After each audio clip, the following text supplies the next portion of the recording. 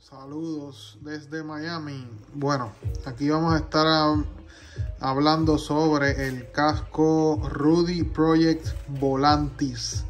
Este casco lo compré en large, o por lo general yo soy medium o medium large en Rudy Project, pero este lo compré en large. Esto es un casco, yo lo compré por una, una por una situación en particular que les diré más a fondo en unos segundos, pero overall aquí lo tienen, es un casco estilo Time, time Attack o Time Trial en las bicicletas, un casco aero, un casco aero, disculpa, aero, aero.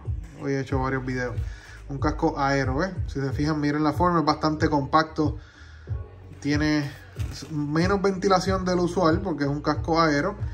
Eh, pero como quiera no deja de ser un casco eh, que puedes utilizar para la ruta. Mírenlo por dentro como es. No tiene sistema MIPS, pero es muy cómodo. No es tan cómodo como el casco, el Trace Smith, que yo presenté en otro video que tengo aquí también en mi canal. Pero es cómodo. Yo compré este casco por un problema que les dije en el video del Trace, del MIPS. Y el problema es que aquel casco es demasiado ancho. Este, si tú lo miras, es un casco mucho más compacto. Queda más pegado a tu cabeza. Míralo de lado de atrás al frente. Es un casco que queda mucho más pegado. O cuando tú te lo pones, se ve un casco más hecho a la medida que un casco que compras por ahí online, tamaños estándares. eso me gustó mucho de este casco. Eso sí, el, el frente del casco, esta parte de aquí, el, aquí el frente, tú le puedes poner un, tú le puedes poner ahí unas gafas, un shield que te venden ellos por 56 dólares. Pero a mí me gusta usar mis gafas independientes. O sea, no me gusta ponerle gafas este, ahí.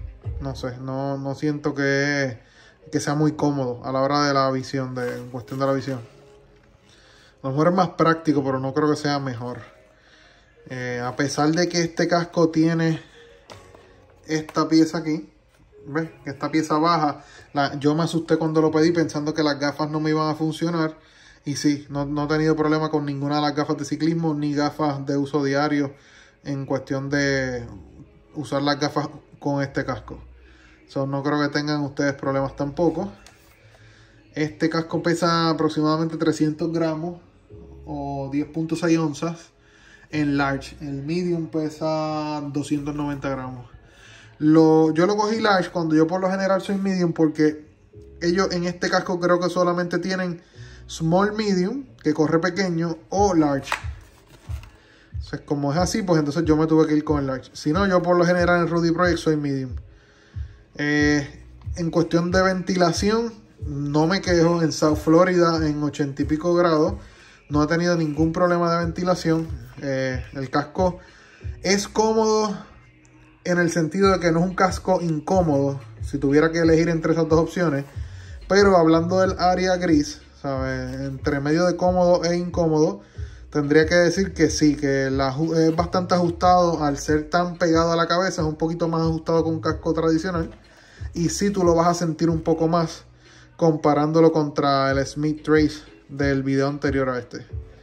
Pero sí es recomendado, el casco se ve muy bien, yo lo uso para ruta, yo no lo uso para aero, ni nada, ni time attacks o time trials, whatever, o trialo. Nada de eso, yo lo uso para ruta y lo voy a usar este fin de semana en el monte a ver cómo me va con él. Pero overall en la calle ha funcionado muy bien, so recomendado. Pero pruébenselo primero.